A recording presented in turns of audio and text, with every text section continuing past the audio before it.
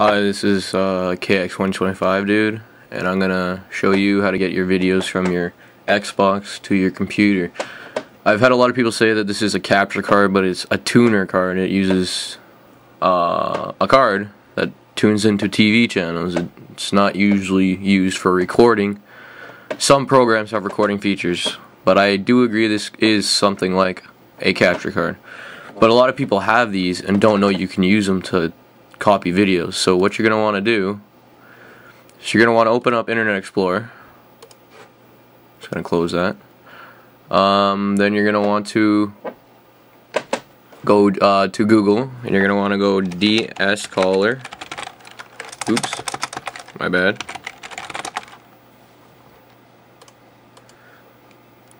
That's what you get for typing too fast. Okay, you're going to want to go to the second one down, which is DScaler for news and download. Now, my other Torch.RL had version 4.1.8 in it, but I'm gonna, I figured out that 4.1.15 is better, so we're gonna download that. Um, just download it and install it. I've already got it, so I'm not gonna go through that again. Okay, so once you have DScaler, what you're gonna want to do is you're gonna want to open up your Internet Explorer again. Uh, you're going to want to Google Video DVD Maker Free, spaces in between every letter. You're going to press search. It should be the first one there. Protected Soft, Video DVD Maker Free, Final Burner, DVD, 2AVI Ripper, YouTube Video, 2 Video. Top left hand corner of their website, they have their home products, download, buy news. Just click on the download. Um, Final Burner, Video DVD Maker. Right under that, where it says download Video DVD Maker, it says name. There's Pro and then there's free. Um, if you want to buy the Pro, go ahead, but like I said, you don't want to spend any money on this, so we're just going to use the free version. It's pretty good. Just click run or save. Okay, so now we're going to open up DScaler, okay? Um, you can't see the input that my screen's doing right now because Hypercam doesn't allow me to see that. Uh, Fraps does, but uh, I this version you don't need Fraps to record anymore. Um, I figured out a way to do it, but it's really dangerous if you click the wrong settings, so you have to pay very good attention. Um, find your tuner card and sources. Uh, for well, for when you first install it, it's going to ask you to do a bunch of install and stuff. Just do that. It's pretty self-explanatory. Um, find your uh, your TV card, tuner card. It's around here somewhere. It's usually down the list. I'm going to click on mine. Um, I've already got mine set up as the composite, but for your inputs, uh, DS show, um, video input, uh, if you want to watch TV, it's under tuner. But if you have it hooked up to your computer for your Xbox, it's under video composite. It should be your first one, depending if your Xbox is plugged in the front or back of your computer. Um, but mine's on the back, so it's that one. Um, it's dark. Oh, you can't see it my thing, but uh, I'll do a video to demonstrate. Um, okay, you're gonna want to find your audio input. It should already be on here, but audio line or audio tuner, depending on what your tuner likes. Uh, the channels usually are already set up.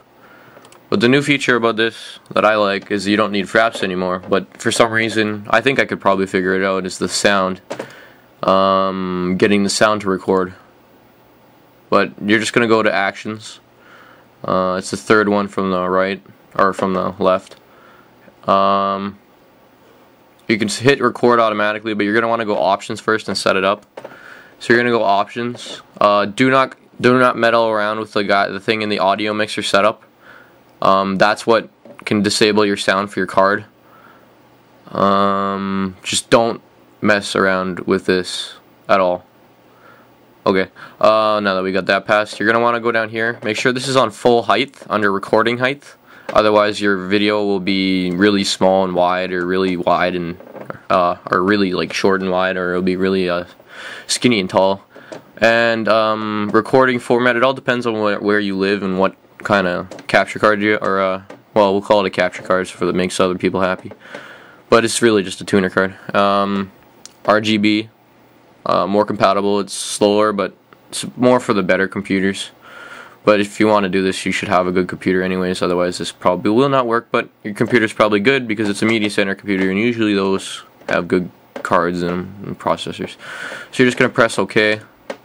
Um, now you're gonna go actions, record, shift 9 to start, shift S, or shift 9, sorry, shift R to start, shift S to stop. Um, right now I'm recording my desktop, or my dashboard, sorry. I'll do a little thing. Actually, well, while I'm waiting for the film, I can show you how to fix the sound problem that you probably had earlier when you were trying my other Torch What I figured out is that if you click on your sound mixer, open volume mixer in uh, you have to have DScaler open for this, by the way. Um, open up the volume mixer and see where it says DScaler.